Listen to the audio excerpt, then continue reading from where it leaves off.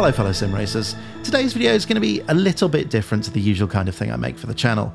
That's in part because today's video idea fell through at the last minute, but also because I've received quite a lot of requests to talk about how I make the screenshots that I use in my video thumbnails. But I guess all of this applies to screenshots in general. Now, there are two components really to making the screenshots, the first of which is actually photographing the car, and the second of which is the editing and stuff. So, to start with, I'm going to crack on with Assetto Corsa and take a photo of the, uh, the McLaren Formula Hybrid 2020, the RSS car, at Red Bull Ring, see if we can get something a bit dramatic going on because that looked really good in the previous thumbnail. And then we're going to jump into Photoshop and talk about how I do some of the post processing and stuff. So, I'm going to start by I think we're going to advance this replay I've got saved, uh, just of a couple of laps. I'm going to advance it up to somewhere where the car's at the top of the hill because we'll be able to get some of those really cool scenes looking over the valley at, at Red Bull Ring. Now, my gut feeling is that somewhere into the hairpin is going to look really good. So I'm going to load up Stereo Joycam, which is what I use to control the, the camera movements and in Assetto Corsa, but that's not actually working for some reason. So I'll just use the keyboard because why not? Uh, and I'm just going to use the camera and just have a look around at, at some of the scenes just so I can get an idea of where looks best. Now, for those of you that don't know, I, I actually worked as a professional photographer for years. I, I went to university and studied it, so I've got a bit of a background of this kind of thing, but I've never done motorsport photography professionally. Uh, that's only really been a, a, hobby of mine. But yeah, looking around, we've got some cool mountains here, but the textures are a bit weird, and we've got this crane uh, and barriers and stuff in the way. So I sort of think looking down the valley this way is going to make a lot of sense, which is sort of why I stopped the car on the apex of the hairpin, close to the apex of the hairpin there. So yeah, let's just get down to, to eye level and have a look. I'm not too worried about the focus at the moment. We can we can deal with all of that. Obviously, if you're a real photographer, you'd be back here somewhere and you'd have to use a, a telephoto lens. Uh, the more you zoom in, obviously, with a telephoto lens, the more it sort of compresses the image. Uh, and we don't really want that, I don't think. I think I want to capture some of this, uh, the background scenes in here, uh, to get as much sort of drama into the shot as possible. Now, that means a wider lens. You couldn't do this in real life because because uh, it would be very dangerous. But I think we want to get a wide, reasonably wide lens fairly close in so we can get some of this mountain range in the background. I'm not too interested in getting the barrier in there. Um, so we might actually wind the car back a tiny bit and just stop it slightly earlier so I don't have to worry about that too much. Now, with, with cropping, uh, this is sort of a, an issue, a thing that a lot of amateurs get wrong, I think, is that you kind of want to try and fill the frame uh, as best you can unless you're doing like a really landscapey piece where the the subject is actually the location, which I guess we kind of are to an extent here. Um, you know, it, all you get all the distractions in the background. Now we're going to lose that by bringing up photo mode and turning back on the depth of field. Okay, it's focused all the way on the background. So going to just bring that forward and we'll focus somewhere on the car just while we finish cropping this shot. Now I want a little bit of roll because it's very flat with the angle of the car there, which doesn't really emphasize the fact that this is kind of very hilly and dynamic here. So we just want a tiny bit of a roll in the camera, I think. And I think I'm pretty happy with that in general as as my sort of starting point. We can always address it in a little bit. Obviously, the nice thing about working in a racing sim is that the car's stopped. You can uh, spend all day doing this stuff. You don't have to worry about just getting the shot straight out of the camera. On that note, I'm using Horizon at the moment as recommended by Mike Simracing 604, uh, which is post processing filter in a bunch of different settings. I haven't got them dialed in the way I'd like, it's still a bit of a blurry mess in places, so uh, we're just going to live with that. Sorry, I should mention that photo mode has been updated in some of the later uh, versions of Content Manager. So if your photo mode doesn't look like this, go into Content Manager and turn on the experimental photo mode or new photo mode or whatever it's called. It's got some very cool features, which I'm, I'm going to show you in a second. The thing I'm going to do next is I'm going to skip over this uh, this polarizing filter here. We'll talk about that in a minute. Um, mainly because I want to get the light sorted. One of the nice things about this is it brings back the tools which I think have been missing with Sol for changing the sort of angle and time offset of the uh, of the sun. So we can move it so it's uh, it's early morning or late afternoon uh, which gets us all the sort of beautiful golden hour colors, that kind of thing. And we can change where the sun is in the sky. So I can immediately see just panning around that having this shot backlit is really dramatic because it emphasizes the mountain range and uh, we get the sort of cool highlights coming across the top of the car. So that might be something that's that's a bit fun. Now you can't obviously can't do this in every photo mode. I'm kind of taking the Mickey here a bit with this because this is so uh, well developed. What it doesn't have is is a proper aperture control, which a lot of other sim, racing sims do, which would be really nice. You've just got the the depth of field cal uh, calculation, which is really just the focal distance rather than actual true aperture setting. But uh, you can play about with the light. Obviously, in other racing sims, you can just change the time of day prior to loading up the replay or prior to recording the replay. It takes a little bit more time, but uh, you can do it after the fact with this, which is very nice. So I think we're going to try and play around with having the sun over the horizon there. Let's just see how high in the sky we should go. Now, that looks very dramatic, but we've got no light on the car.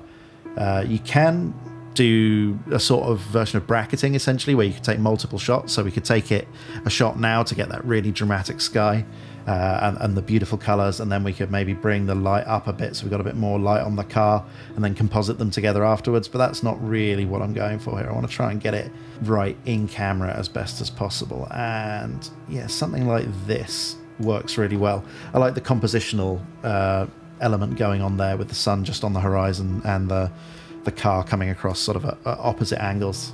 So you've got autofocus in this, which is really nice now. So you can control click on uh, where you want the car to be in focus. Obviously, because we're really close in, we have a very narrow depth of field. So if we focus on, say, Lando's helmet, things I didn't think I'd be saying today. if we focus on Lando's helmet, the, the front of the car is already out of focus. Uh, even worse if you focus at the back. So it's going to have to be a little bit of a compromise, or we could we could focus stack so we could uh, take a shot focused on the front and take a shot focused on the middle maybe and, and on the rear and then composite them together. You can see by the rear that we're losing the sort of blurriness in the background so we're losing the separation of the car from the background which is so nice at the front so we might actually I wasn't planning on doing this we might do a composite of of two shots with the the nose and Lando uh, sort of visor area I can't I can't say his helmet now I've realised that I've done that, and I, I, can't I can't be doing that.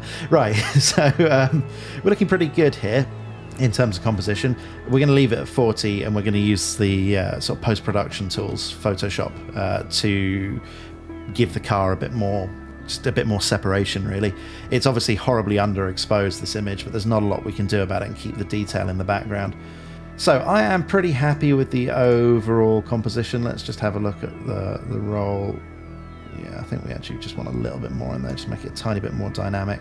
Check our composition for the last time. Have we made it worse? Potentially. I'm happy with that. I'm going to commit to that. And I'm going to take a shot with it focused on the nose. So we'll do take the first shot, and then I'm going to take a second shot focused in the center of the car. See, I don't mind the uh, the rear wing being a tiny bit out of focus. I think that just adds to the fact the idea that you're really close into the car makes it look really sort of dramatic. So we're, we're happy with that. So next up, I'm going to jump over to my editing machine and we'll load up Photoshop and see if we can bring this image to life.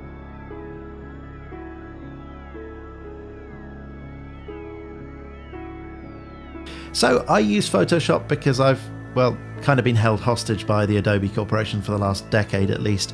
But you can use any editing software you like really for this. I find one that allows you to use layers is, is very helpful though for, for doing things like focus stacking or uh, if you want to remove a car from a background to help give it a bit more separation. There's a lot of tricks you can do with slightly more advanced stuff. So uh, I think GIMP is still free and uh, Affinity makes some very low priced, very feature-rich photo tools as well. If if you uh, if you're interested in going the paid route but don't want to get into Adobe's crazy expensive monthly subscription. So I've brought both of those files into Photoshop. We've got the one that's focused on Lando's helmet. I've done it again, and the one that's focused on the nose of the McLaren. And I can see straight away we've got a couple of issues we need to solve with this image. First of all, we've got that horrible uh, sun that we need to, to just deal with. That's us pushing the graphics engine past where it's supposed to be a little bit, but we can we can solve that. The other is that the image is very grey and washed out. It looks quite dynamic, but once you see it compared to the final image, and I'll do some side by sides at the end if I'm feeling adventurous, uh, you'll be able to see just how lacking in in saturation and contrast the image currently is. Uh, the blacks aren't true black, the whites aren't true white, and we, are just leaving a lot of information um, compressed into a very narrow band in the middle of the image. We'll go through all of that in a bit anyway. The other issue we've got for stacking this image is that the sky has moved between the two shots uh, because I quite often use the windy preset in um, in Sol, so it creates a bit more movement in the background. It makes uh, some of the video stuff look a bit more dynamic. I'd like to turn the wind up and that means even in the like brief time we've uh, been between the two shots the background's moved so i'm going to have to choose one of the skies so what i'm uh, what i think i'm going to do uh, is we've got lando here on the lower layer uh, i've called it lando but it's sort of the main body of the car that's a useful bit but the only piece of information i actually really want from this is kind of from the halo to the back of the engine cover, um, whereas the rest of it actually looks much better in that image. I like prefer the blurriness of the, you know, the background details here in the other one. So I'm actually going to swap them around, and you'll see the reason for this in a minute. If you're familiar with Photoshop, then this is teaching you to suck eggs. And I must say, this isn't really supposed to be a Photoshop tutorial. I'm just wittering on at this stage. So I'm going to create uh, what's known as a mask and this allows you to select how much of this layer is showing above the other layer. So it works on a, a, black and white gradient. So if we go completely black on, on that layer, we color it in black. I've just used the paint bucket tool. You can see that none of it shows through. So what we can then do is use uh, a white paintbrush, uh, use a soft edged one, so the hardness is down to zero, to start painting in the bits of that layer that we found useful. So uh, at the moment my opacity is down at nothing. So let's turn that up to full so it comes through. And we can start to see that as I paint over this, it's bringing in the in focus area around Lando, around the engine cover that we liked. And maybe this area here looks better. It's actually about the same. Not making a huge difference there. But yeah, we'll have the airbox as well. All of the halo. Apologies if this is a bit subtle on YouTube, but you'll be able to see when I do the before and after that it's just at bringing into focus this stuff in the middle, which is kind of important.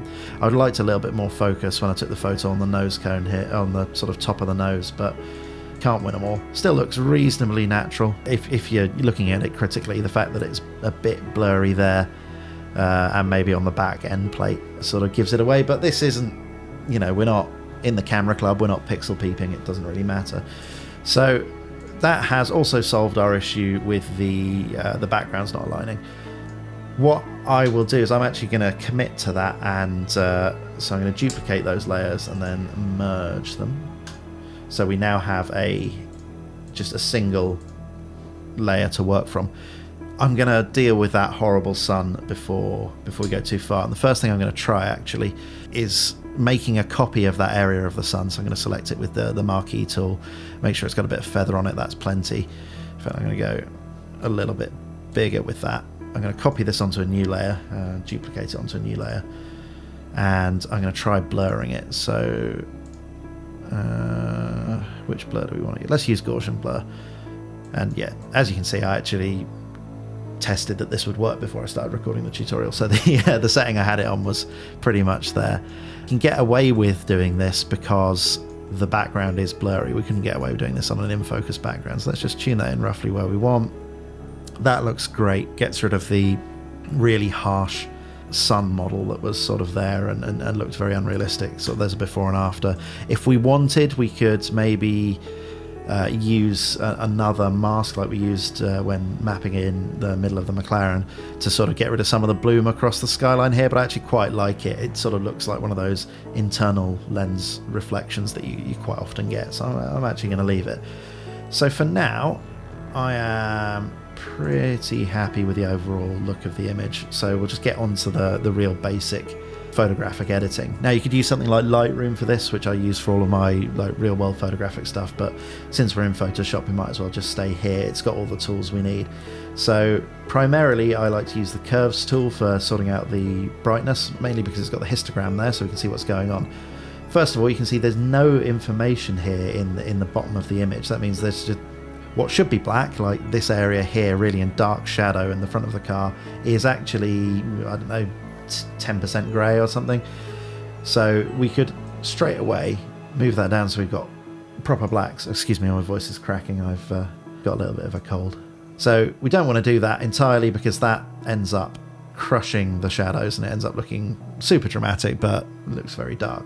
So for doing that, my favorite tool for this is actually the levels tool because you can adjust the black point without really changing the rest of the image. So that's fine. We've done that. We can now see that in the histogram there, the, the blacks start at black. Perfect. There's not a lot of information anywhere in this image in, in the foreground, uh, in this sort of foreground area. So we need to look at brightening all of this up. So I'm just moving the, the curve around to see really where the information all is. So if we push this up in a really horribly unrealistic manner, we can start to see that actually there is quite a lot of color and brightness detail here. By pulling it up, it's not looking horrible.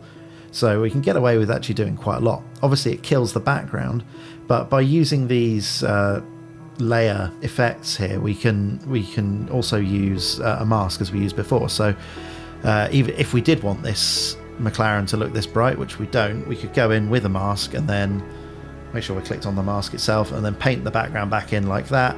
And straight away, we've got a different set of exposure for the foreground and background.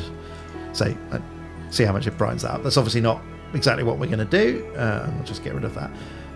But uh, that's sort of the magic of working with this stuff. So what I want to do here is pull up some of the shadows, just so we've got greys in there rather than solid black in all of the dark areas. And I want to pull up some of the highlights because you can see in this part of the image there's it's it's quite flat. There's not a lot going on, and we can actually get away with crunching quite quite a lot of it, pulling it upwards on the uh, the McLaren itself, without getting into too much trouble.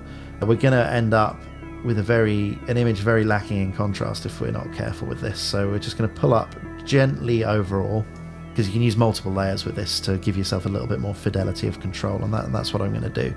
I am going to go back in and paint out that that background because I'm going to treat the sky separately or not at all and I'm actually going to do the same with this grass area here and just gently painting. Again, we got a soft edge brush, so we don't have to be too precise with this.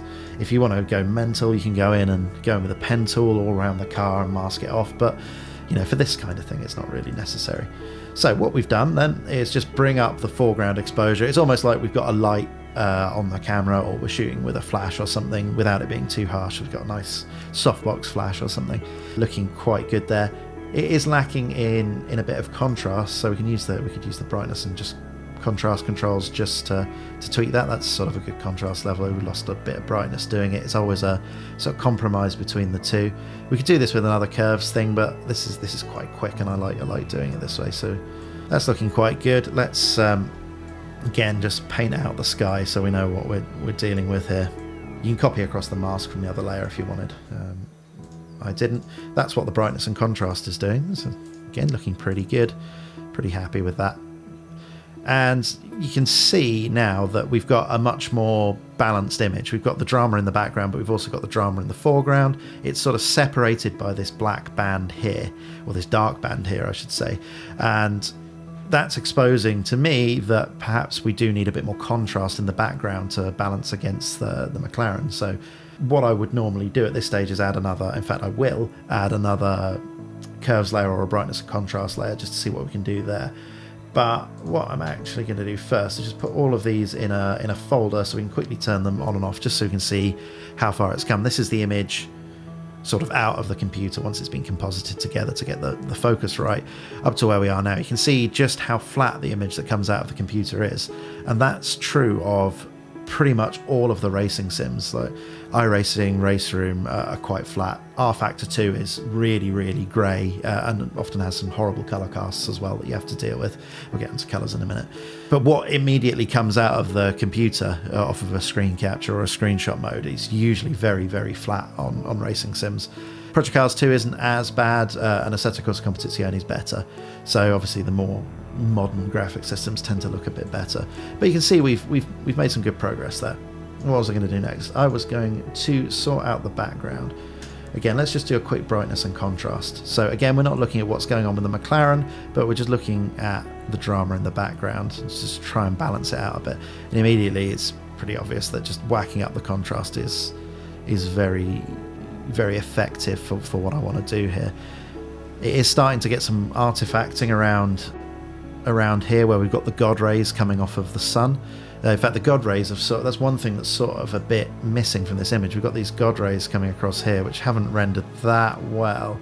Uh, look a bit messy, but we're we're starting to lose them by the time we get up to here.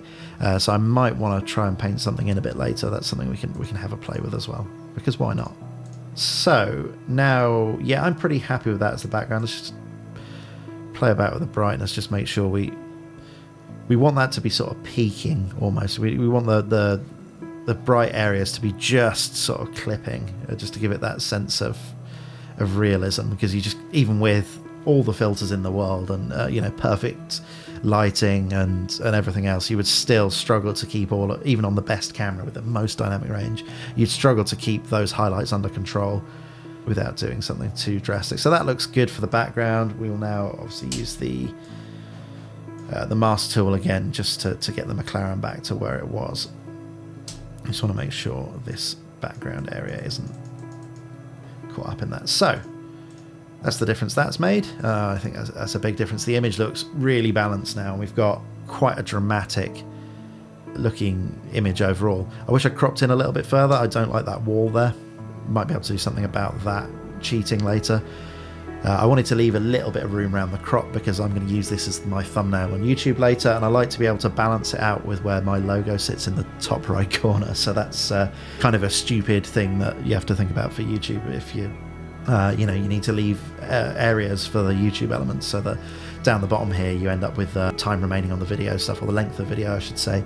So it's just stupid things you have to deal with for YouTube that I wouldn't have to otherwise. So, yeah, as I said, I'm pretty happy with that. Let's just throw a, a curves or something so we can look at the...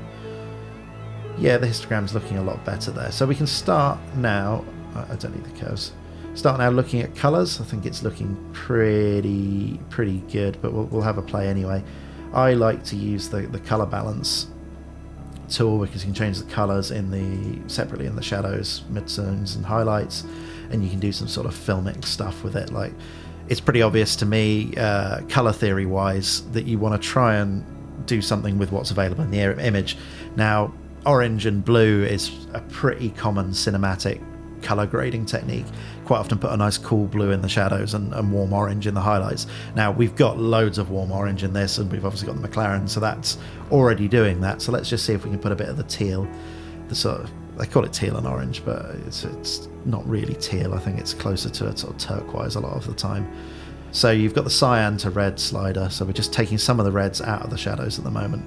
As you can see, it's very bleached in with the red to start with. Just pull it down slightly. That doesn't look too bad. What about blues just to balance it up? That is crunching our shadows, but the actual color difference is really nice there. Normally, you would then go in and add maybe a bit of warmth in the midtones using sort of the yellows and maybe in this case a bit of red to keep it orange. And in fact, I actually like that. I, I wasn't going to because of how much orange was in there, but so if we've seen them before and after, that's uh, that's pulled down some of the shadows, which actually looks nice in the foreground, but I think it's just a bit too much. But it's just cooled off the image uh, in the foreground uh, with all that warmth in the background. It means we've got this contrast. It's the thing I've been trying to go for with this whole image is the contrast between the every element of the the picture. We've got a very in focus car at the front, a very blurry background. We've got a very warm light at the front and cool, uh, sorry, warm light in the background and cool in the front. We've got uh, this kind of soft bloom there and hard edges there. So it just trying to create this contrast across the image is working quite nicely.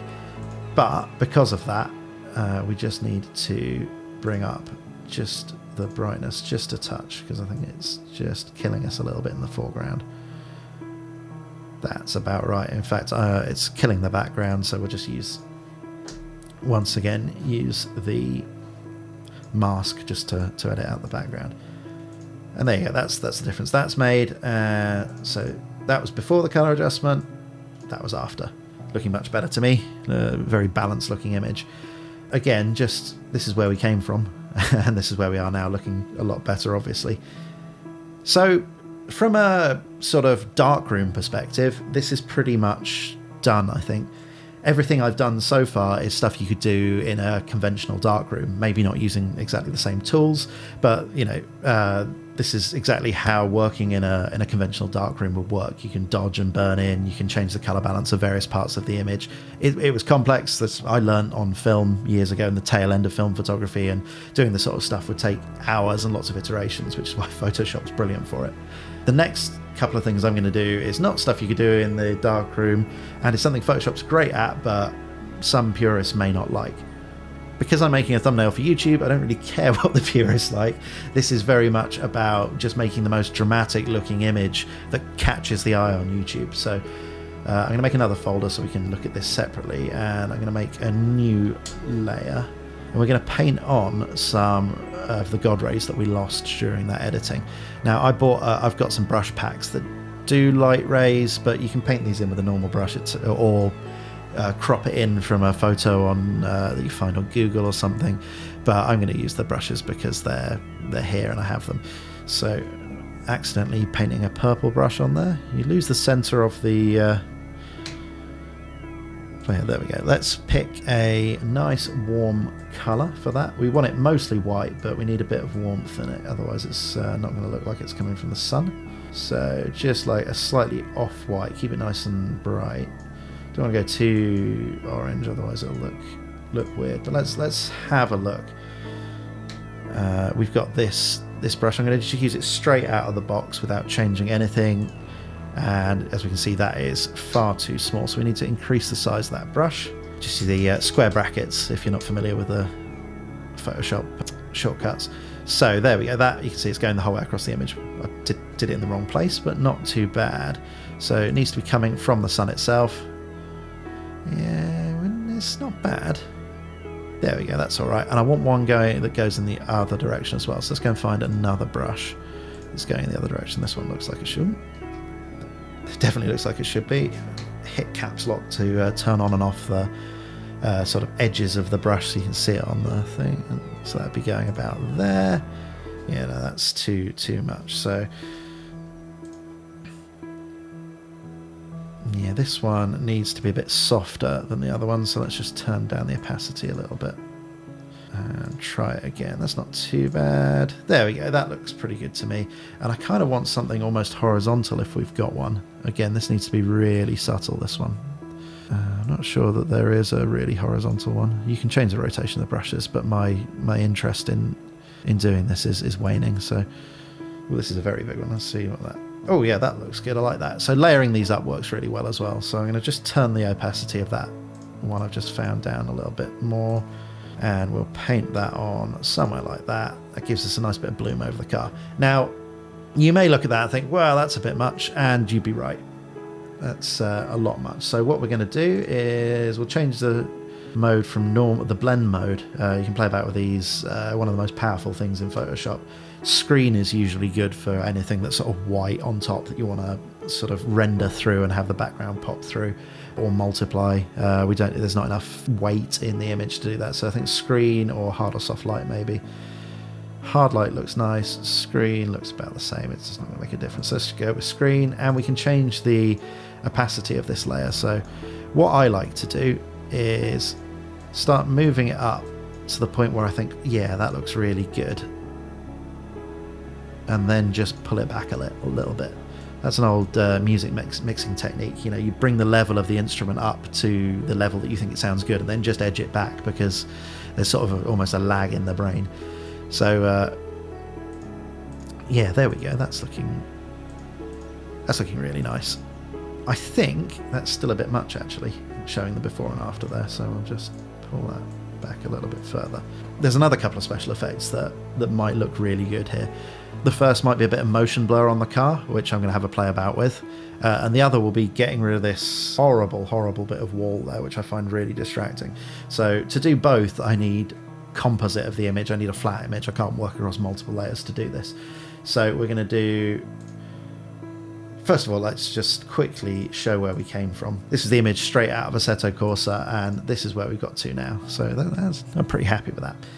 But yeah, let's once again duplicate those layers and then merge them. Right, so now I have a flat image, so we can do anything we want with that. I'm going to duplicate that, uh, which is uh, Control J or Command J if you're on a Mac. And we're going to try and just use the content aware fill on this area here. So I'm just going to use the lasso tool just to select that. Uh, I want a bit more feather on that actually, so it's not got quite such a hard edge. And we're going to use content aware fill. So Shift F5 is fill, and then we're content aware. Photoshop's usually pretty good at that, but that I think is our feather was too much. So try that again. Yeah, that has pretty much solved it. Let's just zoom in to make sure there's nothing really stupid looking in there. Uh, it's copied that curb across, which is quite quite nice. I didn't even realise there was a row of curbing there, so Photoshop's smarter than me. We do have this little weird bit here, so I'm just going to use the clone stamp tool just to pull a little bit of this background here, just so we don't have a white bit at the edge. And you'd never know. Perfect. Cheating, but who cares really? so that's that solved. So I'm just going to name that as wall remove. So I know what stage each of these is at. Now, motion blur. This could be interesting. We're going to duplicate the we're going to duplicate that layer again and we'll go into the blur gallery and it is path blur that we want. And this simulates the sort of movement of a camera. Uh, you can change the direction by moving the points. You can change the sort of differential speed between the starting and the stopping of the exposure. It's quite clever. What we're simulating really here is the, the, the camera panning with the car as it goes past. So the background and sort of the edges of the car, the bits on the edges of the focus, will be will be moving and uh, blurred in a sort of this path blur. Uh, whereas the in focus areas, because we're using a relatively slow shutter speed for doing this kind of shot, will be in focus because the camera is synced up with it. Bad explanation, but you probably know what I mean. So we can change the speed of the blur, the movement, and it can get quite extreme. You want it along the axis of the car generally because that's how you'd be panning. But you can start to see how this is the kind of image you get in motorsport sometimes with those really fast blurs. I'm happy with that. Now, obviously, that looks quite horrendous at the moment, so we're going to have to start cloning in what would be in focus if this was a, was a real shot. We will use a regular soft edged round brush, not one that big though, to start bringing the details back in. Turn the opacity back up to 100 if you do stuff that you don't like, you can click back on. Uh, you can change the color and go back into white on the on the uh, on the mask to bring it back in. So generally, what we're trying to do here is get the center mass of the car fully in focus, while the edges sort of bleed out into the into the blur. Now that's looking reasonable uh, for a starting point. Now I'm going to turn the opacity down and just sort of blend that in so it's not just a hard transition between the two and the same at the back. Obviously we're completely losing the real rear wheel there so obviously we have like a different sort of differential speed between of movement between the car and the background because the car's a lot closer. So we're just trying to look at how that separation works, how how that's all looking. So this is sort of getting there. Let's just do it before and after so we can see. So that's the static image. That is it with the, the motion blur, which I think looks really, really good, if a little bit over the top at the moment. Again, don't worry, we can we can neaten this up. So there's stuff like the top of the airbox, which is just horrible. That needs to be sorted. We've got a T-cam in here that needs to sort of needs the the bulk of it to come back in. But yeah, I think that's that's looking okay. Again, top of the shark fins a bit a bit weird not too much we can do about that. That's just what's there in the image. And the top of the nose, which has been a problem area, I think, for a lot of this actually, because it was never really in hard focus and it wants to be. That was a mistake I made during the shooting, really, but there we go. I think that is that's reasonable. It's blend it's blended in quite nicely.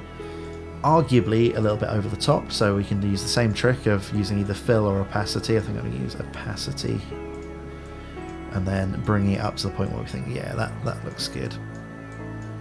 And then dialing it back. In fact, I don't think we were too over the top, sort of before and after. And that's given us really great separation between the car and the background now. So for a, a screenshot like a desktop background, that looks way better because you've just got fewer details in the background distracting from the main main image.